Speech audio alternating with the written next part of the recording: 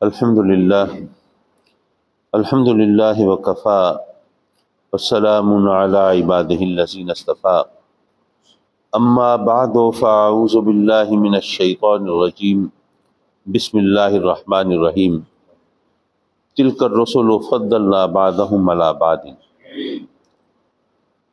सदक़ल्लाहु मौलाना अल-अलियुल अज़ीम व सदक़ रसूलुहुन नबियुल अमीन व नहनु अला ज़ालिक लमिन शाहिदीन व शाकिरीन आलमीन।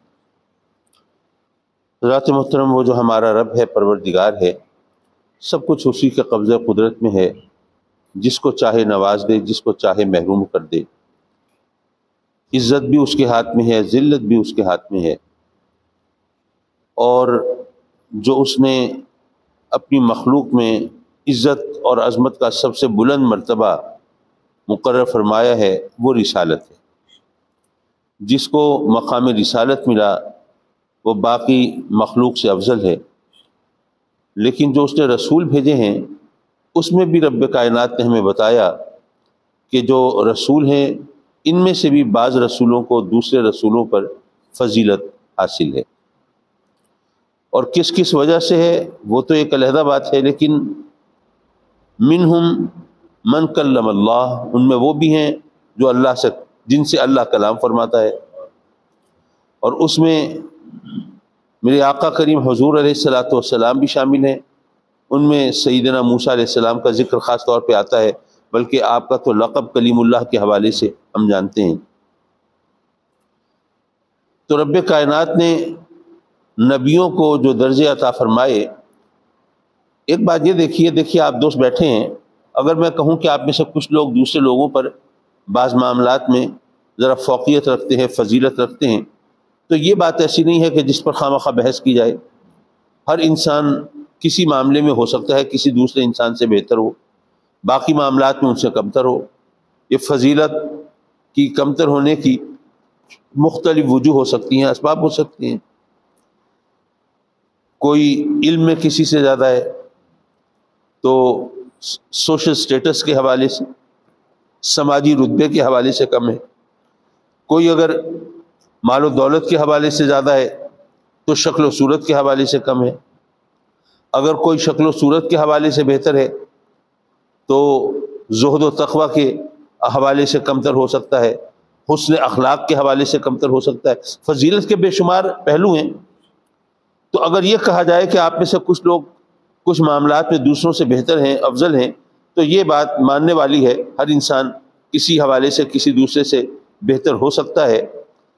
लेकिन अगर मैं ये कहूँ कि जनाब आप में से फला शख्स जो है, वो हर मामले में दूसरों से बेहतर है तो ये चीज़ ऐसी होगी जिसके लिए कोई दलील चाहिए होगी, जिस पर लोग गौर करेंगे कि हर मामले में बेहतर है। फिर एक एक चीज़ को फिर गिनना भी शुरू कर देंगे, क्या उसमें भी बेहतर, क्या उसमें भी बेहतर, क्या उसमें भी बेहतर। अब हमारा जो खानकाही निज़ाम है, वहाँ तो हमें इनकसार और तोज़ो की का दर्ज दिया गया है। कोई शख्स अपने बारे में कोई ऊँची बात ना करे, कोई शेखी ना बघारे और कोई अपनी शान और अजमत के हवाले से लोगों के सामने ज़िक्र न करे, यहाँ पे एक बात आई जहन में चलिए, कहता चलूँ, इत्तेफाक ऐसा हुआ कि चूँकि कुछ सियासत में भी दखल है तो कुछ लोगों ने पूछा कि हाँ जनाब, इलेक्शन के हवाले से वोट किसको मिलने चाहिए, क्या हो? मैंने उनसे कहा कि जी, मेरा ताल्लुक़ तो है खानकाही निज़ाम से। खानकाही निज़ाम में मसला ये होता है कि हर शख्स इनकसार बरतरा होता है, जी, मैं तो किसी काबिल नहीं हूँ। मैं तो बहुत गुनाहगार हूँ, बहुत ख़ताकार हूँ, मैं तो कम तरीन हूँ। लेकिन मसला यह है, सियासत में अगर मैं ये कहूँ, मैं किसी काबिल नहीं तो आप लोग कहेंगे अच्छा जी, फिर आप घर तशरीफ़ रखिए, हम किसी काबिल आदमी को ढूंढ लेते हैं। तो हर मैदान के अपने तकाजे होते हैं, अपना माहौल होता है। लेकिन जो जो रब है हमारा, परवरदिगार है, अगर वो बताए कि मैंने किसी को फजीलत अता फरमाई है तो ज़ाहिर है कि उसमें तो इनकार का तो पहलू हो ही नहीं सकता। और अगर उसने फजीलत दी है और वो ऐलान भी फरमा रहा है तो अगर उसका इनकार किया जाए तो कुफरान नमत के ज़ुमरे में आएगा। और माजल्ला रब को झुटलाने के हवाले से बात होगी। अब मुझे याद नहीं, मैंने ये बात, जहाँ आप दोस्तों के सामने बयान की या नहीं की, ज़ाहिर है दिन रात जब खिताबात हों, तकारीर हों तो फिर याद नहीं रहता कहाँ क्या बात की, कहाँ क्या नहीं की। लेकिन एक बार मैंने अपने वालिद गिरामी रहमत से पूछा कि जी, उनकी आदत थी तवाज़ो की, इनकसार की, और कभी कोई उनकी अक्ल, उनकी फ़हम फिरासत और उनकी दानिश के हवाले से तारीफ़ करता तो आप फरमा देते कि भाई हम तो बिल्कुल बेवकूफ़ आदमी हैं। अगर कोई उनके इल्म फजल के हवाले से बात करता तो फरमाते कि हम तो बिल्कुल जाहिल आदमी हैं, हमें तो कुछ आता ही नहीं। तो अगर कोई उनके जहद व तकवा के हवाले से बात करता तो फरमाते कि भाई, हम तो बहुत गुनाहगार आदमी हैं। तो एक दिन मैंने सवाल कर दिया, मैंने कहा कि जी, बात यह है कि हम अब ख़ास उनको इशारा करना तो ज़ाहिर है मेरे लिए मुश्किल था। तो मैंने एक जनरल किस्म की बात की कि जी, हमारे बुज़ुर्ग हजरात होते हैं तो वो इनकसार बरत रहे होते हैं, आजी कर रहे होते हैं अपने आप को कम तरीन गर्दान रहे होते हैं। लेकिन मुझे ये बता दीजिए कि एक ऐसा शख्स हो, जिसकी अक्ल दानिश का दुनिया में चर्चा हो और दुनिया उनकी फहमो फिरासत की कायल हो और वो कहे कि नहीं जी, हम तो बिल्कुल अक्ल के हवाले से पैदल हैं। या कोई ऐसा शख्स जिसके इल्म फजल का डंका पिटता हो और वो कहे कि जनाब, हम तो बिल्कुल ज़ाहिर हैं। या एक ऐसा शख्स जिसके जहद तकवा के लोग मोतरफ हों और वो कहे कि हम तो बहुत गुनाहगार हैं। तो अब ये बात समझ नहीं आती कि वो हस्तियाँ ऐसी हैं जो, जिनको गलत कहने को जी नहीं करता। और उनको सही मानना ये भी अजीब लगता है कि कैसे माने? तो मुझे ये बता दीजिए कि इनकसार और तवाज़ो जो है, इसमें और झूठ में फ़र्क क्या है? ये किस बयानी किसे कहते हैं और ये तवाज़ो इनकसार किसको कहते हैं? क्योंकि अगर वो शख्स कोई ऐसा शख्स जो कि उनके मरतबे मकाम से वाकिफ ना हो, वो तो अगर उनकी बात को सच मानेगा तो परेशान। और अगर ना माने तो उनको झूठा कहे। तो मुश्किल करे तो क्या करे?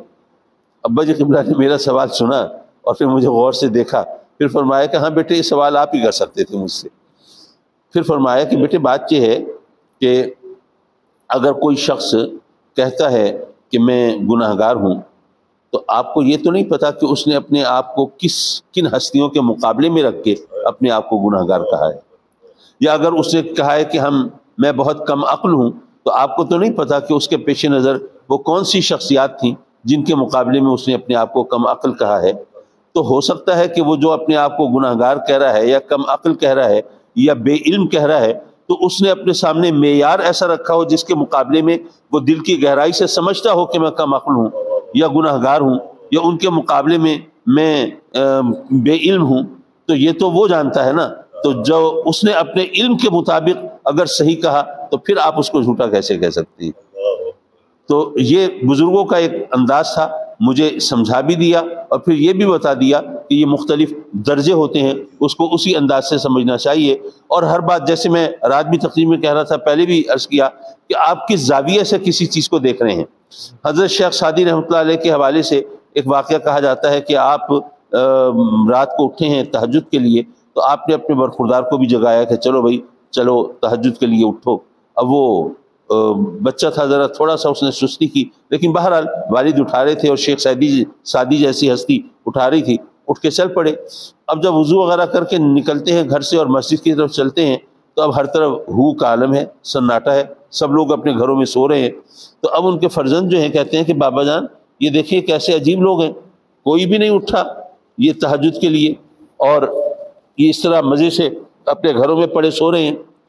तो जब ये बात सुनी तो हज़रत शेख सादी ने फरमाया कि इस, ये बात कहने से बेहतर था कि तुम भी बड़े सोते रहते और ना उठते। वो बच्चा हैरान हुआ कि भाई तहजद के लिए जा रहा हूँ और मुझे कह रहे हैं कि नहीं तहजद पढ़ने के मुकाबले में मैं लेटा रहता और सोया रहता, ये क्या बात बनी? तो उस बच्चे की ज़रा हैरत को और ताजुब को भाप कर उन्होंने उसकी वजाहत की। उन्होंने कहा कि वो लोग जो सोए हुए हैं ना, वो तहजद तो नहीं पढ़ रहे, लेकिन वो किसी की गिबत भी नहीं कर रहे। तो तुम तहजद पढ़ने जा रहे हो और उनको कमतर गर्दान रहे हो और उनकी गिबत कर रहे हो तो इससे बेहतर था कि तुम पढ़े रहते। ये गुनाह तो तुम्हारे खाते में ना आता। अब ज़ाहिर है कि ये चीज़ ऐसी है कि हमने, अब गिबत कितना बड़ा गुना है। कुरान, ये तो कुरान ने कहा ना कि वो मुर्दा भाई के गोश्त के खाने के मुतरदिफ है, लेकिन हमने इसको कभी उस तरह समझा नहीं कि गिबत कितनी बुरी चीज़ है।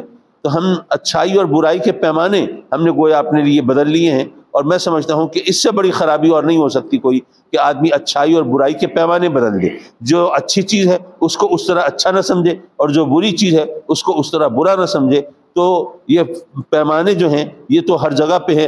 हज ये है कि रसूलों के अंदर भी रब कायनात ने फरमाया कि वहाँ भी हमने फजीलत के मुख्तलिफ़ मैार मुकर किए हैं। रसूलों को भी एक दूसरे के ऊपर फजीलत अता फरमाई है।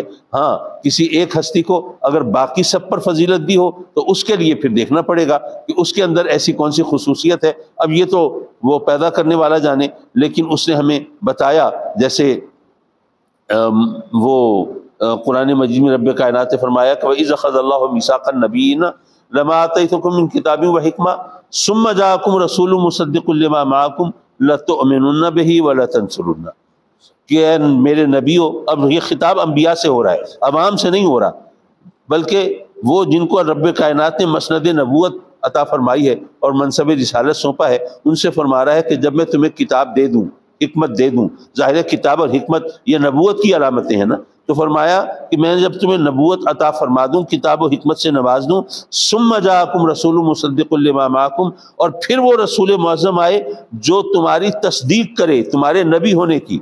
तुम्हारा साहिब शरीयत होने की, तुम्हारी किताबों की, कि हाँ ये जो किताब है, ये जो शरीयत है, ये जो अहकाम है, ये इनको रब की तरफ़ से मिले हैं। ये इन्होंने अपनी तरफ़ से नहीं घड़े वो तुम्हारी तस्दीक करे तो फिर क्या करो? तो तुम उन पर ज़रूर ज़रूर ईमान लाना और उनकी ज़रूर ज़रूर तस्दीक करना। तो ज़ाहिर है कि जिन हस्तियों पर ईमान लाने के लिए अम्बिया को कहा जा रहा है, उनका मकाम क्या होगा? और सिर्फ़ इतनी बात नहीं है कि तुम उन पर ईमान लाना और उनकी तस्दीक करना, बल्कि रब कायनात ने फिर उनसे बाकायदा ये फरमाया कि ताला आकर तुम व अखस्तुम अलाजालिकुम इसलिए क्या तुमने मेरी बात मानी, क्या इकरार किया कि हाँ तुम ईमान लाओगे उन पर? उनकी मदद करोगे? और क्या तुम इस पर भारी जिम्मा उठाते हो? यानी अगर तुम्हारे ऊपर कोई इस हवाले से, अगर जो तुम्हारी ड्यूटी सौंपी गई है, अगर पूरी ना कर पाओ तो अगर तुम्हें कोई सजा दी जाए तो क्या उसको कबूल करोगे? कालू अकरना सबने कहा, तमाम अम्बिया ने, कि हमने इकरार किया। अब जब अम्बिया है और ज़ाहिर कि नबूत से बड़ा तो मनसब नहीं है ना?